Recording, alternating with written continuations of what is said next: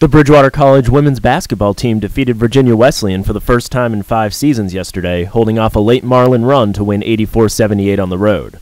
Trailing 14 4 early, BC scored eight unanswered, capped by a post play from Caitlin Lehan. Jessica Lamb's long two point jumper had Bridgewater ahead 22 19 early in the second quarter. The Marlins fought back to lead 30 29 before back to back triples from Lamb and Brianna Moore pushed the Eagles to a five point lead. Cassidy Burkholder opened the third period with a three pointer to put the Eagles ahead by 13, and the lead was still 15 late in the second half.